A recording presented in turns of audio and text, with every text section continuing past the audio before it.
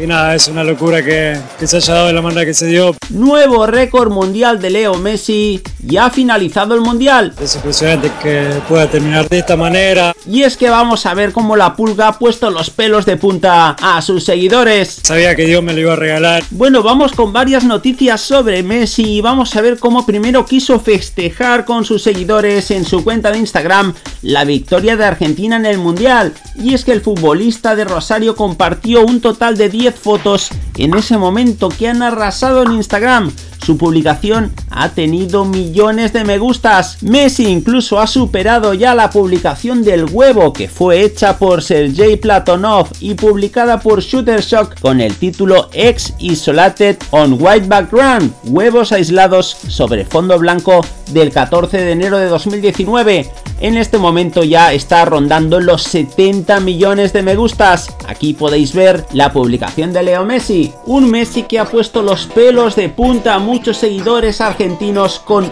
otro mensaje en Instagram que dice lo siguiente, de Grandoli hasta el Mundial de Qatar pasaron casi 30 años, fueron cerca de 3 décadas en las que la pelota me dio muchas alegrías y también algunas tristezas, siempre tuve el sueño de ser campeón del mundo y no quería dejar de intentarlo aún sabiendo que quizá nunca se daría. Esta copa que conseguimos también es de todos los que no la lograron en los anteriores mundiales que jugamos como en 2014 donde la merecían todos por cómo lucharon hasta la misma final. También es del Diego que nos alentó desde el cielo y de todos los que se la pasaron bancando siempre a la selección sin mirar tanto el resultado sino las ganas que siempre le metíamos, también cuando no salían las cosas como queríamos. También se ha hecho viral un momento en el que después de vencer a Francia en la tanda de penaltis en la final, los jugadores de la selección subieron a recoger su preciado trofeo en el podium del Estadio Lusail. Al bajar, numerosas personalidades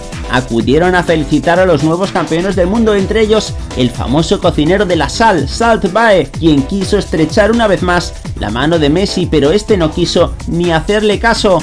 Messi ya había estrechado su mano, abrazado y celebrado la victoria con el famoso cocinero especializado en carne en restaurantes en Doha, que roza los 50 millones de seguidores y que posee múltiples locales. Aquí podéis ver la imagen de mosqueo de Messi con el empresario. Un Messi que como podéis ver ya ha llegado a Rosario y que ya se encuentra con la familia descansando ya tras un mes lleno de emociones y de alegrías en este Mundial de Qatar 2022 que consiguió ganar Leo Messi con la ayuda de todos sus compañeros. Nos gustaría que dejarais vuestra opinión al respecto.